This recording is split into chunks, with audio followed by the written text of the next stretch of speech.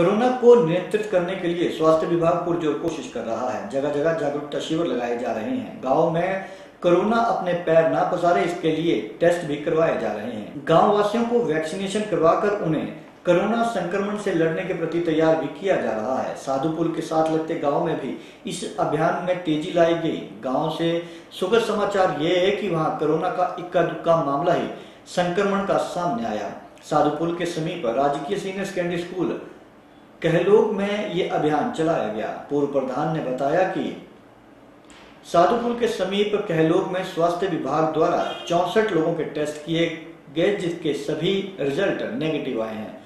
पूर्व प्रधान प्रवीण कुमार ने प्रदेश सरकार से आग्रह किया कि जो प्रवासी मजदूर बाहरी राज्यों से उनके क्षेत्र में काम कर रहे ने आ रहे हैं, उनके भी टेस्ट प्रदेश सरकार को करवाने चाहिए, ताकि कोरोना संक्रमण फैलने से रोका जा सके।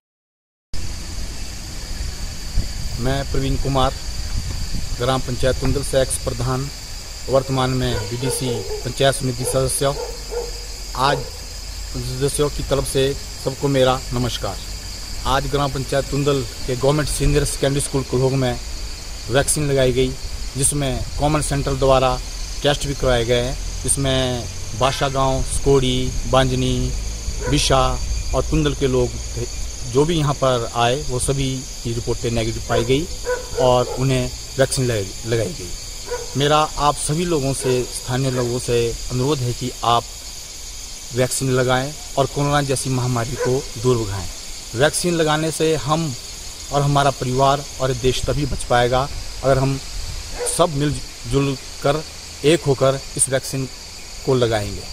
और मेरा सरकार से एक आग्रह रहेगा कि जो ये वैक्सीन लगाई जा रही है यह वैक्सीन पंचायत स्तर पर लगानी जानी चाहिए, जिससे पंचायत स्तर के जो लोग हैं, वो सभी लोग इसमें हिस्सा लेंगे। जैसे यहाँ पर नेपाली मूल निवासी के लोग रहते हैं, बिहार, यूपी के लोग जितने भी लोग यहाँ रहते हैं, उनको तभी वो यहाँ पर वैक्सीन लगाए जाए, लगाएँगे, जब पंचायत क्षेत्रों में ये चीज़ें उपलब्ध होगी।